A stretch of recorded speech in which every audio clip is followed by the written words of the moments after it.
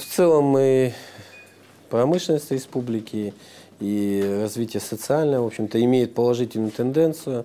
Она сохранилась с 2010 года. В 2011 году мы по целому ряду направлений укрепили свои позиции. Промышленность э, показывает темпы э, высокие, и в ПФУ мы входим в тройку, в России мы в десятке лучших по промышленным показателям. Э, на сегодня по 8 месяцам это 114,3%, обрабатывающие свыше 115%. То есть, в принципе, те тенденции, которые были в 2010 году, они сохранились по 8 э, месяцам, и я думаю, что мы уложимся в прогнозные цифры э, по промпроизводству где-то на уровне 114-115% в 2011 году. Что это нам дает? Мы э, максимально подтянемся к уровню 2008 года.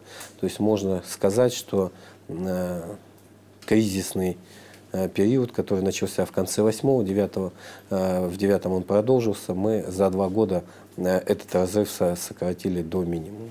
Фактически на всех э, предприятиях республики, ну, я имею в виду серьезные предприятия, которые имеют свою стратегию развития, приняты программы модернизации. Они э, были сформированы еще до кризиса, потому что любое предприятие и любой менеджмент э, на предприятии понимает, что без э, производительности труда, без э, нормальной рентабельности своего производства, инвестирования в перспективные продукты невозможно без проведения полной модернизации производства. Так как в основном заводы были введены в эксплуатацию многие 20, 30 лет, 40 лет назад. Вы знаете, что в 2011 году целому ряду наших предприятий юбилейные даты. Это отчасти хорошая Э, показатель их работы за период, но это говорит о том, что высокий износ э, основных средств необходимо модернизироваться. И, э, соответственно, предприятия верстали инвестиционные планы свои, вкладывали в модернизацию. Кризис, конечно, внес свои коррективы, но практически на сегодня ни одно а, предприятие не отказалось в целом от реализации планов модернизации. С чем, с чем это связано? Это внедрение высокотехнологичного оборудования, замена ручного, так я назову, труда высокопроизводительным через использование роботов, автоматов, высокопроизводительных станков. Эта работа ведется на каждом ну, серьезном предприятии. Какие предприятия? Это Яконт на сегодня, это предприятие электротехники, а, Промтрактор, вагон, Промтрактор, который вы знаете, объявил программу роботизации своих производств. То есть, в общем-то, на сегодня я вам просто скажу, побывайте на любом Э, предприятии вы увидите, э, какие станки э, стояли там 20 лет назад и какое оборудование используется сегодня, и вы поймете, что данная работа ведется. Невозможно оперировать себестоимостью продукции, не проводя такую работу. Э, что касается вообще э, инвестиционного климата в республике, э, первое и, наверное, фундаментально, у нас сформирована вся законодательная и нормативная правовая база для ведения инвестиционной деятельности в регионе. Приняты программы содействию инвестиций, снижению административных барьеров. То есть это является приоритетным для республики. Это транслируется президентом Чувашской республики как на региональном республиканском уровне, так и на муниципальном. Ставятся конкретные задачи по реализации инвестиционных проектов в каждом э, муниципальном образовании. А, по темпам инвестиций э, в 2010 году мы одни из лидеров России, 122,3%. Э, здесь э, много говорится, что у нас э, много бюджетных инвестиций. Так вот, если исключить бюджетные инвестиции, то темп частных инвестиций у нас будет 131,6%. То есть зачастую люди, когда говорят, это не всегда правильно оперируют цифрами. То есть бизнес в 2010 году был активнее, чем государство. Да? И это меня, как министра экономики, промышленности, меня радует такая активность. Какие проекты интересно реализуются? И будут ли сохранены темпы в текущем году? Мы надеемся, что да. Ориентир где-то на 55 миллиардов по итогом года объем инвестиций, и э, я думаю, что данный показатель будет достигнут. Реализуется проект э, «Солнечная долина» по производству э, солнечных батарей. Реализуется большой проект в Канаше э, фирмы «Девилей» по выпуску соусов. Э, объем производства оценивается порядка 6 миллиардов рублей. Э, вот это для Канаша, в принципе, второй промтрактор-вагон. Реализован проект промтрактор-вагон, то есть в этом году он выйдет на э, плановые объемы выпуска порядка 9 тысяч вагонов. Это довольно серьезное производство, то есть промтрактор-вагон будет представлен ну, по крайней мере, в десятке основных производителей э, вагонов э, в стране у нас, в, России. А рынок перспективный, бурно растет, так что мы связываем с хорошей э, маржинальной стоимостью данного продукта, с хорошими э, результатами для предприятия. Э, надо не забывать электротехническую отрасль, практически и АБС, и э, ЭКО, Электросил, практически все заявили о реализации новых инвестиционных планов. ЭКО – покупка контура, открытие двух площадок в районе кабельного проезда. Что касается АБС, это новое направление АБС Электро, взаимодействие с Русгидро и с э, предприятиями электроэнергетики. И, соответственно, под это запускаются новые проекты, новые направления, новые продуктовые линейки. Есть позитив, э, есть проекты, есть проекты, что самое приятное, э, практически в каждом муниципальном образовании. В Шумерле это ШЗСА реализует проект по, э, э, по силовому оборудованию вместе с итальянской компанией. В э, Алатове запущено уже комбикормовое производство. Также ведется работа по горнообогатительному заводу. Чувашия был одним из первых регионов, кто начал сотрудничать с Роснано. Вы помните приезд Анатолия Борисовича сюда, в Чувашию, запуск реализации проекта Хевела э, в Солнечной долине. На сегодня есть графики ввода объекта в 2012 году. Я надеюсь, что со стороны Роснана идет жесткий контроль за исполнением э, сроков. Я надеюсь, что в 2012 году проект будет запущен. Был в работе проект э, «Гален». Это выпуск базальтопластика. И сегодня вот по итогам командировки э, вчера в Москву я могу э, вам сказать о том, что все договоренности по реализации проекта достигнуты. Согласован график финансирования со стороны Роснана. Да, этот проект по масштабу немножко не такой, как Хевел, но он перспективный. Э, за данной продукцией большие, э, большое будущее. И э, со стороны Роснана порядка 200 миллионов рублей в следующем году будет вложено. Начало финансирования обозначено 1 января 2012 года. То есть в этом году закончена вся процедура. Что нас ждет в перспективе? На сегодня находится на рассмотрении три заявки по различным направлениям, как от предприятий республики, так и от Чувашского государственного университета по своим тематикам. Я надеюсь, что мы здесь э, будем их отстаивать, будем работать. Э, какое еще одно перспективное направление обозначила Роснано э, перед республикой? И тоже здесь есть определенные возможности для сотрудничества. На сегодня Роснано одобрено целый ряд проектов да, по другим регионам, по другим инвесторам. И э, они сталкиваются сегодня с поиском площадок. На сегодня у них ведется реестр таких проектов, реестр перспективных площадок. И здесь задача э, показать республику. То есть показать, что у нас есть недозагруженные мощности, у нас есть площадки для размещения производств.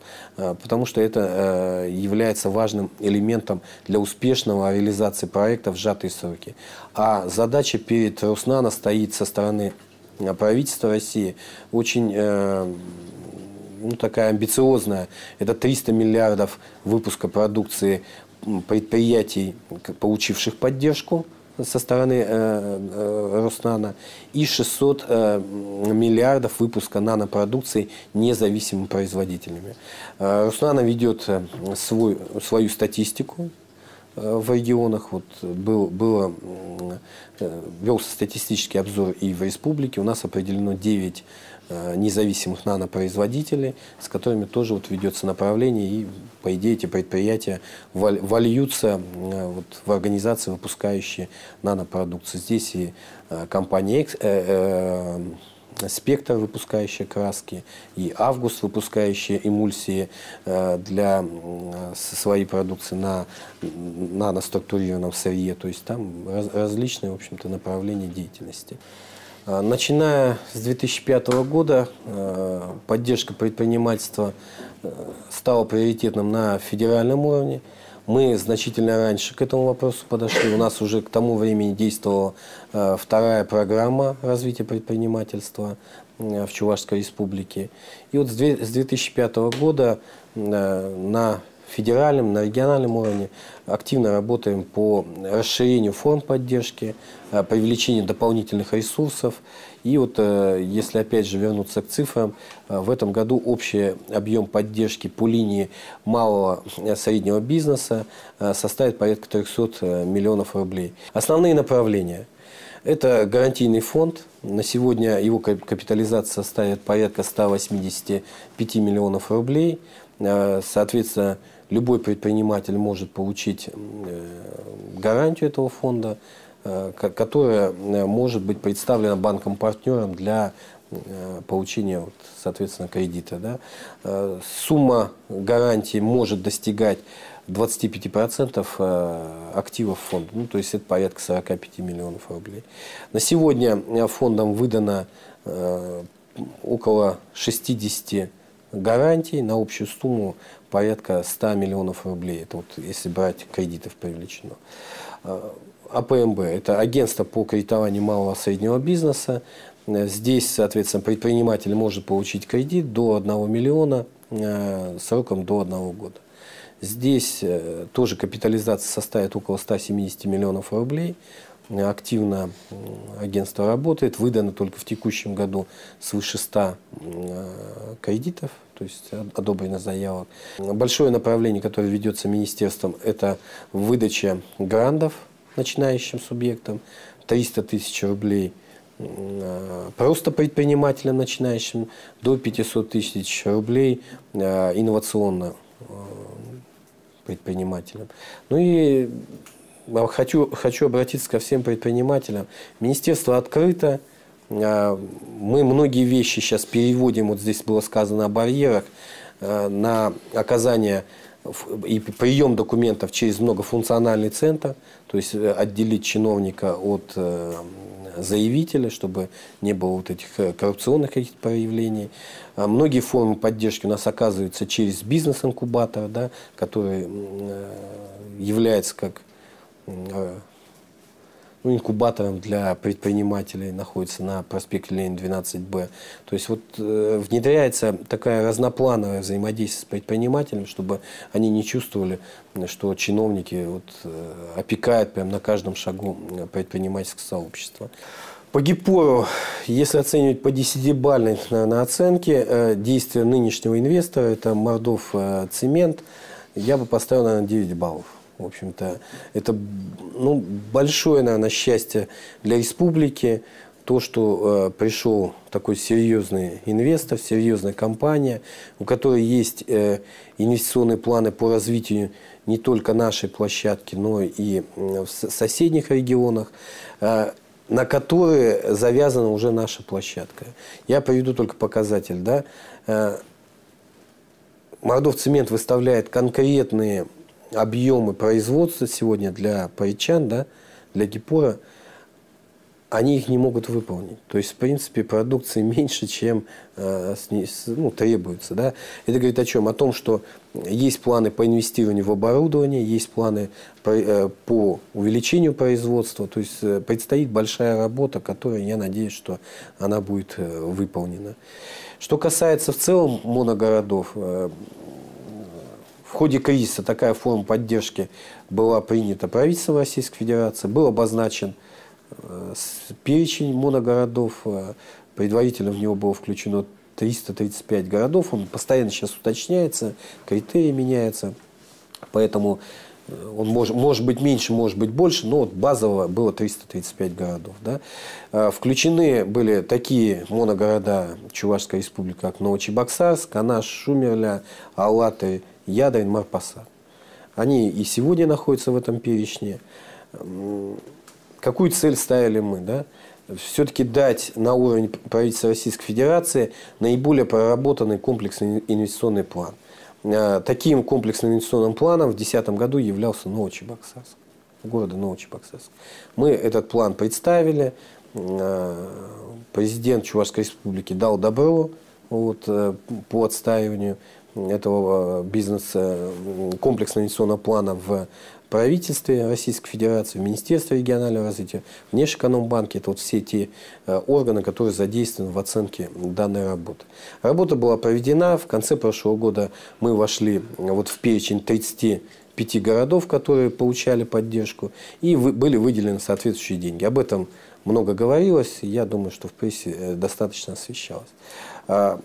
Какая работа была намечена в 2011 году, к которой мы даже приступили чуть раньше, в конце 2010 когда было понятно, что Новочебоксарск получает одобрение. Э, оценка, опять же, готовности комплексных инвестиционных планов других городов.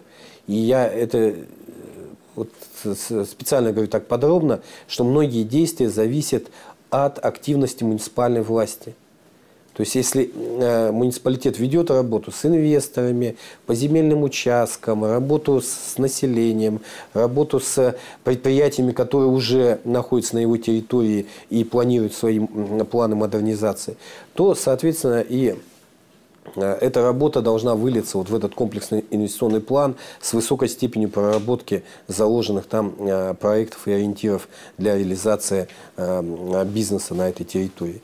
Вот та оценка, которую мы проводили в конце 2010 года, выявила, что наибольшая готовность у комплексного инвестиционного плана города Алаты.